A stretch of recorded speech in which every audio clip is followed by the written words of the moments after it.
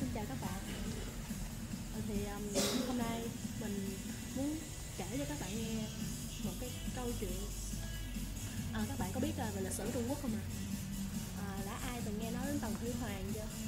À, Tần Thủy Hoàng á thì thực ra là là ông vua đầu tiên của triều đại cổ Trung Quốc thì người ta biết đến ông vua này giống như là một là cái ông vị vua tàn bạo nhất của Trung Quốc ha tại sao người ta lại nói như vậy? Thì các bạn đã từng nghe đến mà ờ, uh, phần Thủy Hoàng uh, lăng mộ phần Thủy Hoàng cũng như là vạn lý trường thành. Các bạn đã biết là lăng mộ Tần Thủy Hoàng thì dĩ nhiên là xây cho uh, Tần là vị vua Tần Thủy Hoàng rồi nhưng mà còn vạn lý trường thành thì sao? Ai biết vạn lý trường thành nó xây từ khi nào? Vạn lý trường thành thực ra thì vạn lý trường thành nó được xây uh, từ thời vua Tần Thủy Hoàng. Không thực tế là nó đã xây nhiều nhiều nhiều sách vở ghi chép rằng là và cái trường thành đó đã được xây từ trước đời vua Tần Thủy Hoàng. Nhưng mà chỉ thực tế ra là nó cũng chỉ là những cái bức tường rời rạc thôi. Nó chưa có được mà liên kết lại với nhau giống như một dải tường à, dài đến như, như hiện bây giờ. Thì đến chừng mà đời vua Tần Thủy Hoàng thì ông vua này mới um, cho người xây thêm xây thêm về cái uh, tường thành này.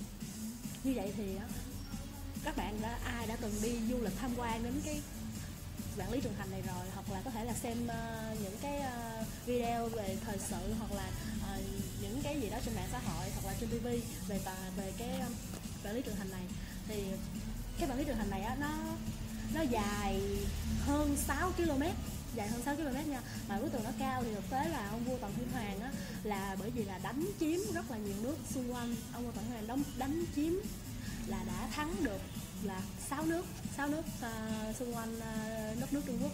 Nhưng mà uh, sau đó thì uh, sợ rằng là các nước đó các nước xung quanh tiếp nữa sẽ đánh chiếm mình đặc biệt là những cái nước ở phía phương Bắc. Nha thì lúc đó mới xây dựng xây dựng lên cái bản lý trường thành này. Thì lúc đó nếu như mà cái công nghệ lúc đó mà là những cái quân giặc phương Bắc không thể nào vượt qua được bản lý trường thành để mà đánh chiếm Trung Quốc. Cho nên là cái một cái mục đích để mà xây vạn lý trường thành nó xây dựng nó vững chắc là để là bảo vệ đất nước Trung Quốc khỏi bị cho những cái quân phương Bắc xâm chiếm tới. Như vậy thì uh, cái vạn lý trường thành này mặc dù là nó có cái uh, ý nghĩa là bảo vệ đất nước Trung Quốc đó nhưng mà có những cái sự thật mà người ta đã phải xây dựng vạn lý trường thành như thế nào. Làm sao mà sức người mà có thể xây được một cái to lớn như vậy? Thì câu trả lời ở đây là và lý trường thành nó đã cướp đi sinh mạng của một triệu người, thậm chí là hơn một triệu người nữa. Trong đó là đàn ông có, thanh niên có, tất cả những người có thể có cái sức để mà xây dựng được. Bởi vì nó được đúc kết từ những cái tảng đá, những cái tảng gạch rất là lớn. Hen sao sức người bình thường không thể làm như vậy được? Thì ông vua lần thủy hoàng này là bất chấp tất cả mọi thứ bất chấp tất cả mọi thứ là không cần quan tâm đến dân mình như thế nào.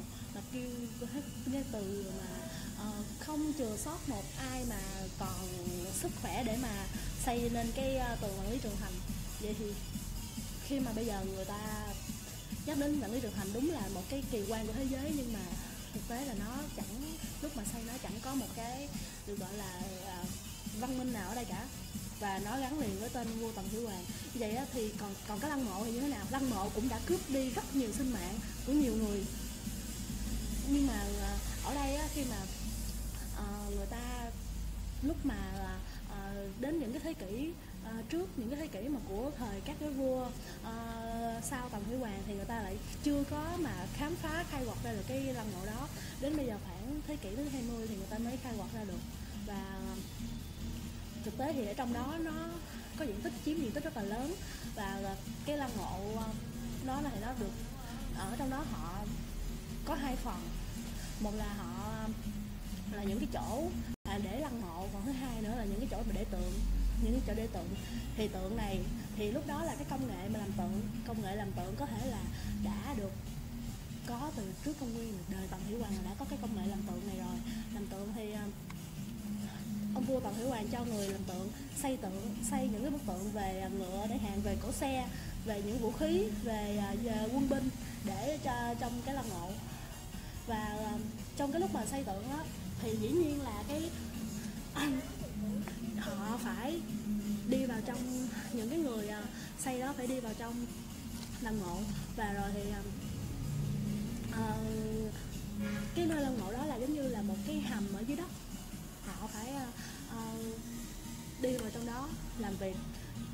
trong những cái điều kiện rất là thiếu thốn như sự như và đại khái là ông vua này là chẳng chẳng hề mà quan tâm gì tới dân cả. Và thậm chí là, nhưng mà có một dĩ nhiên vua tần thủy hoàng rất là giàu có có đến rất là nhiều vàng bạc châu báu được cất giấu ở trong cái lăng mộ này. Thì khi mà cất giấu như vậy thì dĩ nhiên là sẽ có những người đi cất giấu. Và họ họ biết được cái chỗ, họ biết được vị trí. Và đến chừng mà khi vua tần thủy hoàng mất đến chừng mà đời con của tần thủy hoàng thì là con trai của ông ta đã cho giết hết những người này cho giết hết những cái người mà biết được cái uh, kho báu để ở trong cái lăng mộ. Như vậy thì rõ ràng đó là ờ, uh, tần thủy hoàng cho xây lăng mộ xây vạn lý trụ thành để mà giống như là muốn là cái đời cái nhà họ tần của mình cái tên cái chữ họ tần đó là muốn được trường tồn vĩnh viễn. Ông vua tần thủy hoàng này luôn ờ, luôn tin về cái sự tồn tại của trường sinh bất tử ông ta nghĩ là ông ta sẽ không bao giờ chết và thậm chí là con cháu của ông ta là cái đời và còn là sẽ mãi mãi không bao giờ mà chấm dứt. Nhưng mà cuối cùng là ông ta đã sai. Khi mà con của ông ta đã, đã giết hết tất cả những cái người mà xây dựng à, đến cái à, uh, lăng mộ để mà giống như là không cho đời sau biết được rằng là kho báu cất giấu ở đâu không ai xâm phạm được đến.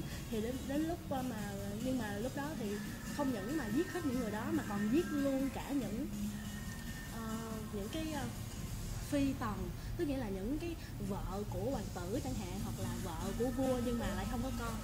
Như là cái chế độ Trung Quốc là lúc đó là rất là kinh khủng.